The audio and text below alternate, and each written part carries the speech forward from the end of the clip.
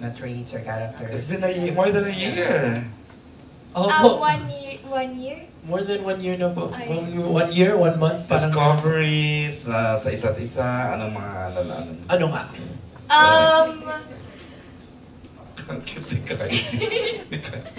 si Kyle po, since nung Since. ginagawa nung ginagawa po namin yung, nung ginagawa po namin yung si The Red Shoes, um, mas nakilala ko po siya and mas doon po lumalim yung friendship namin.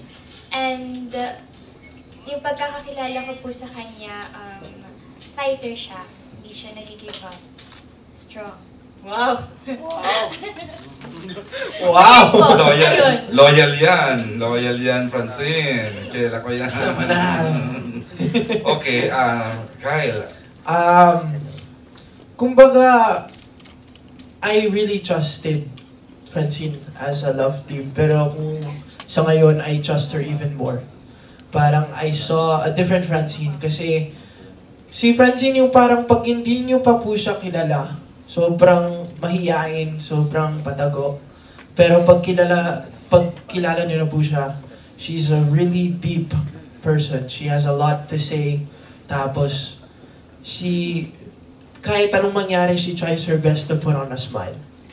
Kahit um, pag malungkot ka, malungkot rin siya. At kahit malungkot siya at malungkot ka, gagawan niya ng paraan para maging masaya ka. Parang ganun po si Francine. Hanap tayo ng mga ano natin, ng mga Kyle at mga Francine natin. No? Cute. Basta naging strong po yung bond namin sa movie. Especially walang ano, walang dalawang love team na solo yung isa't isa, gano'n. Hindi, perhaps na walang iba, di ba? Kasi doon, Mga solo Oo, isa hindi, solo niya, solo sila din. Tatanungin ko rin mamaya sila niya.